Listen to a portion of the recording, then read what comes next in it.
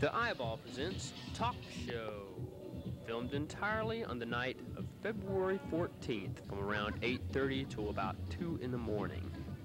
During the Big Style Show, a notable gathering of fashionables at 800 East, the Artist Cooperative. Tok Sho was a formal, informal, conversational format television program, a showcase for artists, non artists, to espouse their philosophies, non philosophies. What do you have to say to these people? Okay, I can't. I can't. Good evening, and welcome to the program. Our topic tonight is transsexualism. To my right, I would like to introduce you all to Betty Peru. Thank you. Those of you that have seen David Lynch's Wild at Heart might recognize Betty. Uh, she is the next of kin of the dearly departed Headless Bobby. And Betty um, is something of a poetess and uh, as well as a fashion plate. So would you uh, give us a little uh, look at your outfit? Well, before I begin, I'd like just to tell you a little bit about Bobby. Bobby's a good man. He's not as evil as you might think. Cut that out. anyway, Bobby, when he was in Vietnam, he wrote me a poem. And in this poem, he told me what it's like over there. And so I'm going to read you my poem. Oh, by the way, uh, Yes, look yes. for this on your newsstand. This is called Terminus Tales. This was originally Atlanta's name before it became Atlanta. Terminus. Okay, back to Bobby and his poem. This is called Bobby's poem, obviously. And it goes like this. Red of blood mixed with charred black skin. Putrid smell of rotting flesh and rotting limb. Death and maiming. Let's do a killing spree. Yeah, while in the Gulf of Tonkin, taking life just set him free. A musty smell of a pussy getting wet. Have you said, fuck me yet?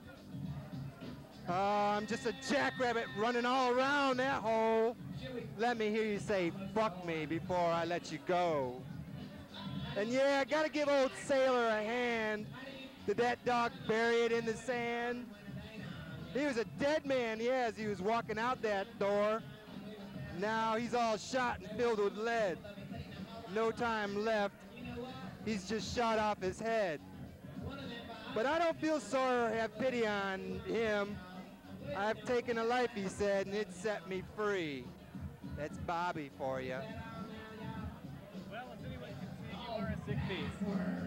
Well, you know, Chili, I'd like to read one of my poems for Valentine's Day. Well, And it's in Terminus Tales. I'm sitting right next to you, and I can't hear a word you're saying. That's okay, they can. Okay, this one's called Redneck Love, and it's done by a friend of mine named Copacetic Chris. I want a girl who drives. A little more comfortable. Oh, okay. I want a girl who drives a truck, one who can shift the gears and not get stuck. Uh -huh. And if she has four on the floor, I can't help but love her more. I heard that. But if she's just a fling for fun, I'll win her over with my gun. Yeah, I'll teach her how to point and shoot before I finally give her the boot. To find a girl who can party and drink without getting mad if I get sick in the sink. That's a girl I want with her a while, yeah. Even if she has a toothless smile. Yeah, baby. Of course, it's me who's put out all those teeth, all the while accusing her of being a cheat. And that girl of mine, she'll love it and come back for more before she finally walks out that door. Justify, brother. And you know, that girl will love my horse. Probably more than me, of course. Yeah, she'll have a bouffant with platinum hair. Want to have my kids and go on welfare. Yeah, don't you want to give her a whirl? Don't you just love a redneck girl? Cut that out, Chili. Okay, I want to read one more. Well, I think that's just about enough. Uh, Can I have one more? See? Okay. This is this is called the way of things. Oh, my heart's broken and crumpled. this is a family program, so uh, Oh, okay. I'm sorry. This is called The Way of Things, and it's a favorite of my friend Terry Hardy. It goes like this. Gay love, straight love. Don't you just hate love? Gay rights and straight fights. Civil liberties in the spotlight. Gay sex or straight sex, just give me some great sex. A gay man and a straight man, both using their own hand.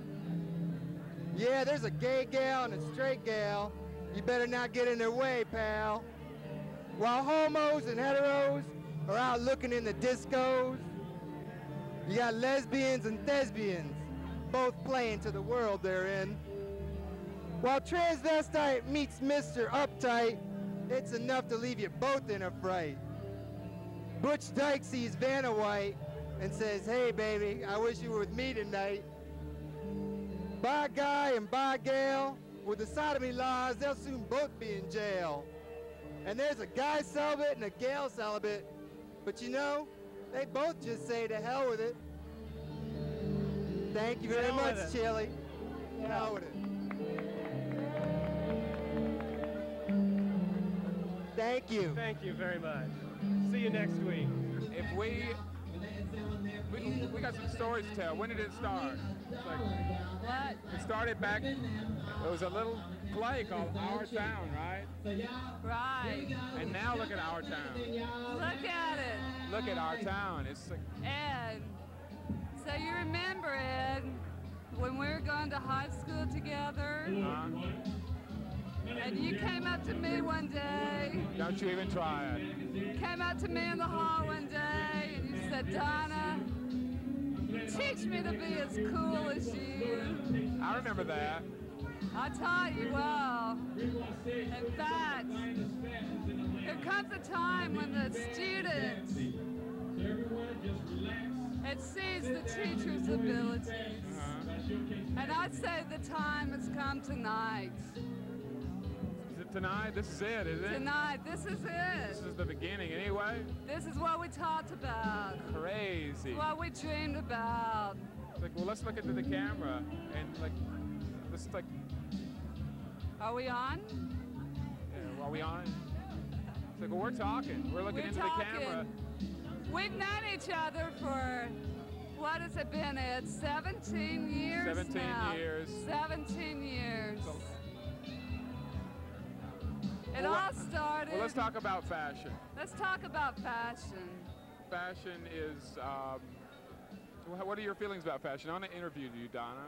Fashion to me, well, it's it's a personal expression of who you are, your soul. It's personal, you know. It's a soul thing. Huh?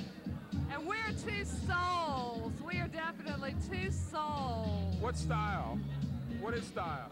Style. Style is who you are, and it can change. You can change your style every day. Let's dance. Let's dance. Let's cheer dance. Remember how I used to dance in my living room? How I used to dance in the living room? Definitely, I remember. We put those 45s on. We get crazy.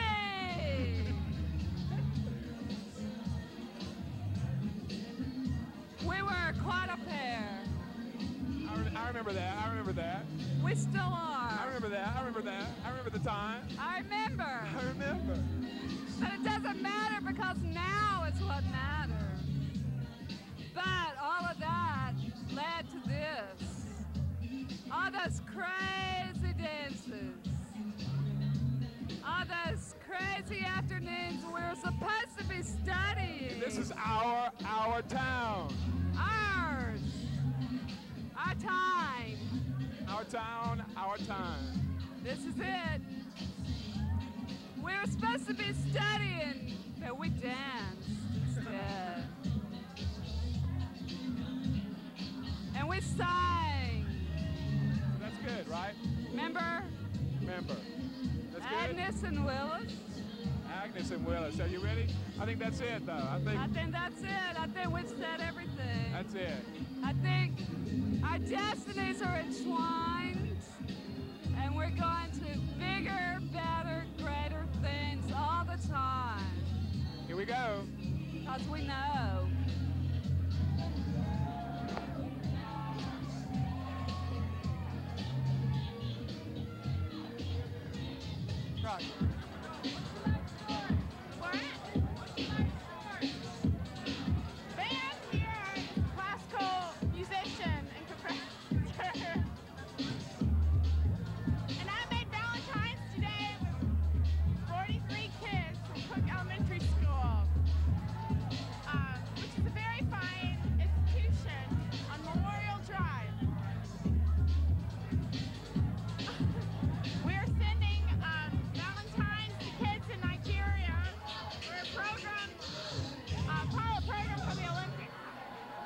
on an experiment on dead, dead air time.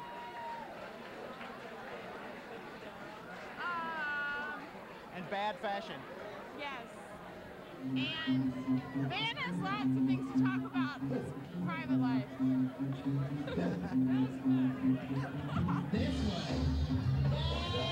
I, I can't. I can't really. I can't hear. I can't hear myself. he just doesn't want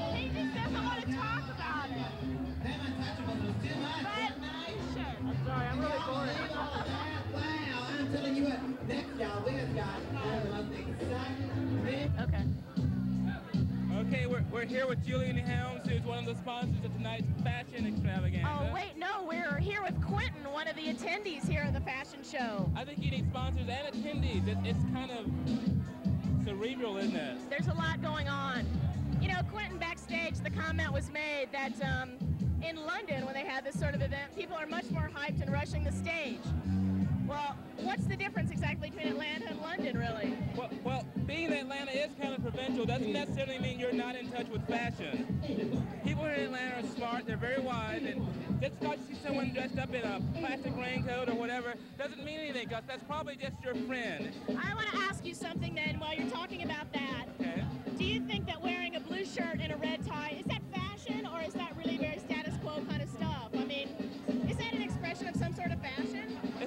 Of good taste nowadays. Huh. Like Vaswegians are good taste? Well, if you accent them with the right jacket and the right attitude. Now, now you're a very globetrotter. You've been everywhere. Are other people in other countries wearing blue shirts and red ties? I'm afraid they are, except in parts of Africa where the, the tie is optional. Really? But everybody wears the coat, so don't worry about that. Where are people most comfortable? In their clothes or in their bodies? Generally in their living rooms, unfortunately, in America nowadays. Everybody watches too much TV. They should all be here right now enjoying all of this fashion for us right now. I know. So, Well, well, if we could just pan the camera and see all the wonderful people here. yeah, no, let's take a look at all the beautiful people. Everybody isn't on stage. Ah, look That looks good. And she's looking demure, but she's wearing the beautiful royal blue. That's so hot. Oh, over here, the, the bra. The bra, Oh, that's nice. Yeah. Definitely. Now, now she looks withdrawn, but she's at a very happening event. And What's she's going on? but that bright red color does make her stand out. So, Definitely. So people are looking subdued, but really they're waiting to have a good time. Well, sometimes when fashion's very high velocity and you, everybody's in loud colors, you might want to wear something just dark enough so you stand out. It works both ways. I see here one standing out, and I think that the height of hair has something to do with standing out. Well, It's definitely the height of hair. Hair. Come closer. Yeah, it's definitely the height of hair. come And on, it's don't be shy. definitely, it's definitely the layer of makeup.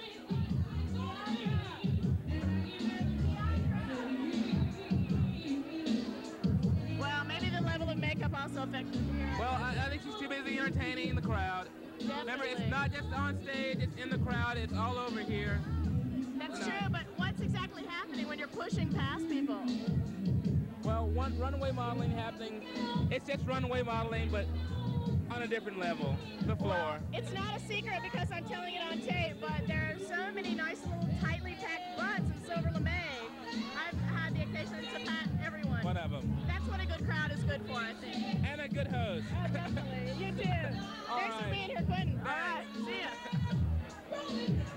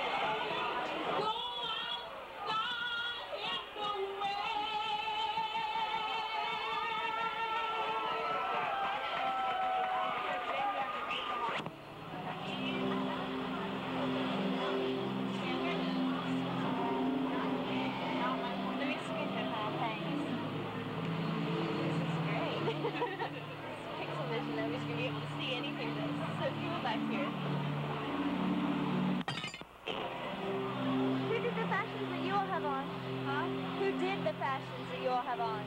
Rob. Oh yeah? Rob and Little Five Points. Oh okay. They do all original stuff. Yeah. Yeah, I saw the like the furry hats and stuff they have on. Yeah, um, I think someone else does some of the hats. Uh huh. But someone affiliated with Rob as well. Uh huh. Cool. Thanks.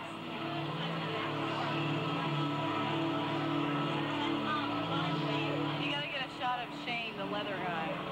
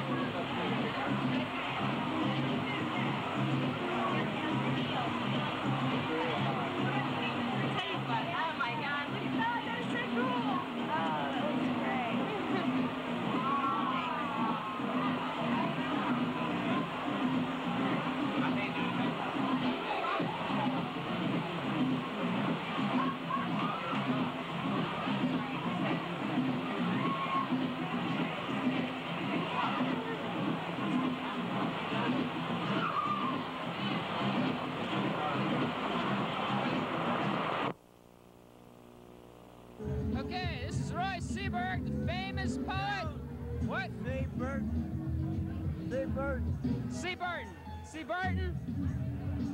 C as in Clyde. C as in Clyde. Clyde? Burton as in Sir Richard Burton. The guy oh, that this is Roy C. Burton. As in Sir Richard Burton. And uh, he's a famous local poet. And he's a famous guy. And uh, what else can you say for yourself? I well, I have testicles like a goat, and they're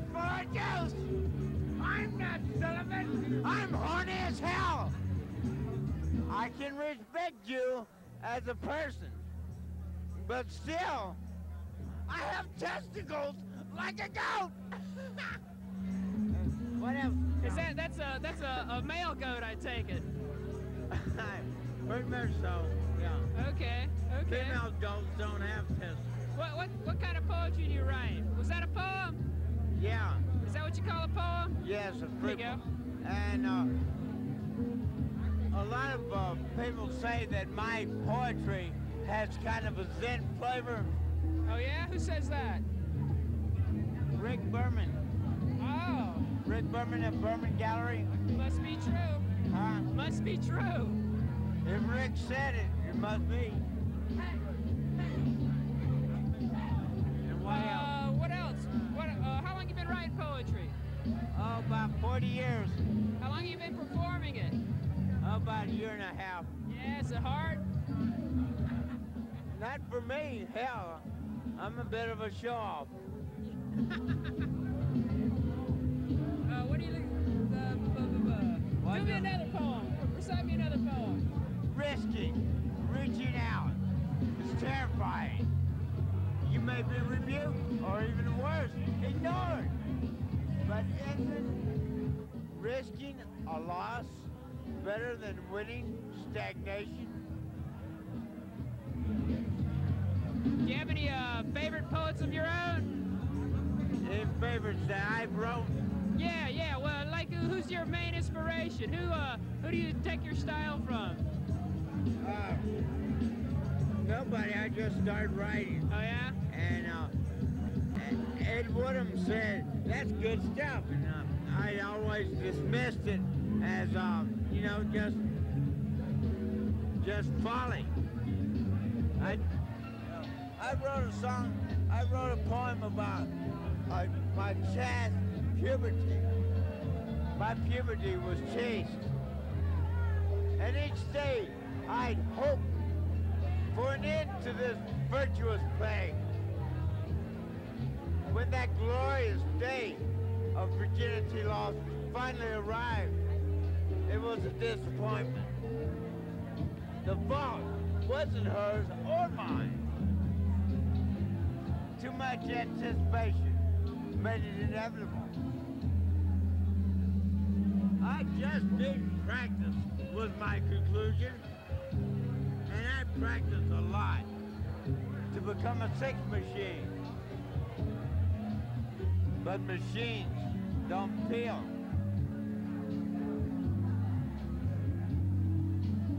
One of my many, That's sad. well, machines don't feel. That's really And- sad. Well, maybe they'll invent one that does.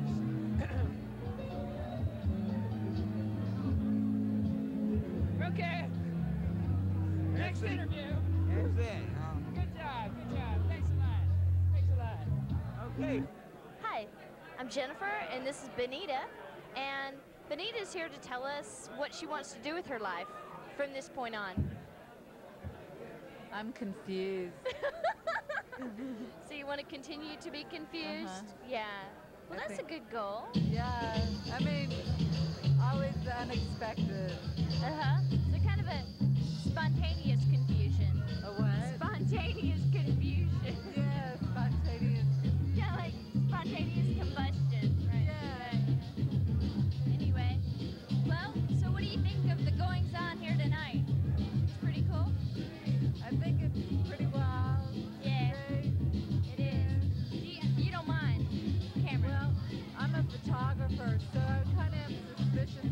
remember. Yeah. Okay, well, don't mind this one. Oh, okay.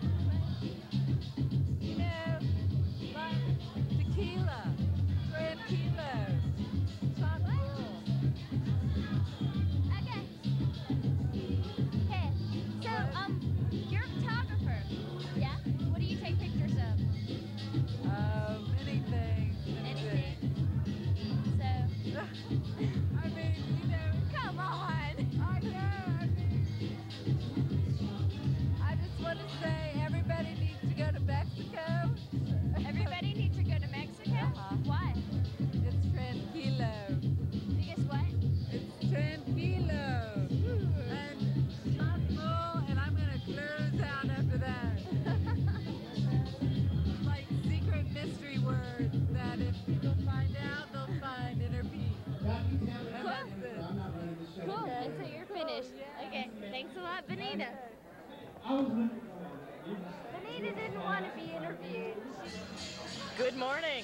Welcome to Women Without Brains. I'm Julian Helms, and I'll be your host today. We'll be interviewing Miss Lawendry Lipomotman, a woman who suffered a lobotomy back in the 70s. She was a feminist previously, campaigning violently for the right to vote, equal rights, and for lesbianism to be an equal issue in the media. Today she has no front part of her brain. It's good for you to be here. How are you feeling? Okay. Do you remember any of your past as a lobbyist for women's rights? No, I remember nothing. Have you ever had sex?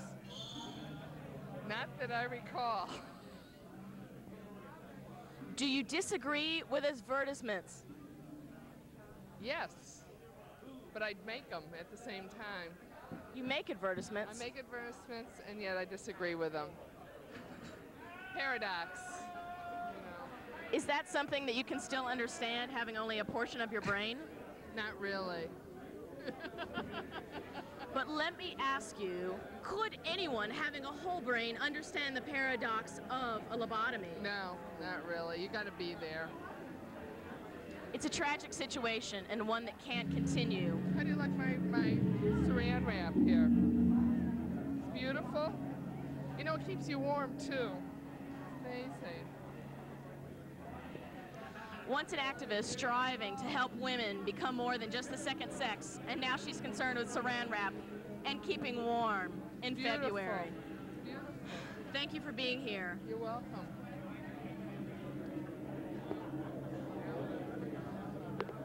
Great. Marshall, come on. Come on. Marshall. You're a great